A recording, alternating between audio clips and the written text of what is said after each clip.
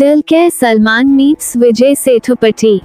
Malayalam cinema's handsome hunk Dulquer Salmaan has appeared in a good deal of Tamil films and the actor has immense love and respect towards the artists in the Kollywood industry. Mollywood's darling hero DQ has now caught up with our Makkal Selvan Vijay Sethupathi. Dulquer seems to be so delighted on meeting Vijay Sethupathi along with his upcoming film director R. Balki and The Family Man, makers Raj and DK. Sharing a photo on Instagram, Dulquer Salmaan wrote, Pleasure meeting Vijay Anna, Raj and DK, Sita Menon along with Balki sir and Shreya.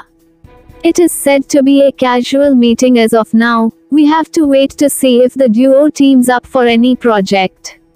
Notably, Vijay Sethupathi and Dulquer Salmaan had sung a song in Tamil and Malayalam respectively in Vijay Devarkonda and Rashmika Mandanna starrer, Dear Kamarade. On the work front, DQ is currently shooting for his third Bollywood film titled, Chup, Revenge of the Artist, while VJS is shooting for Kamal Haasan and Fahadh Faasil starrer, Vikram.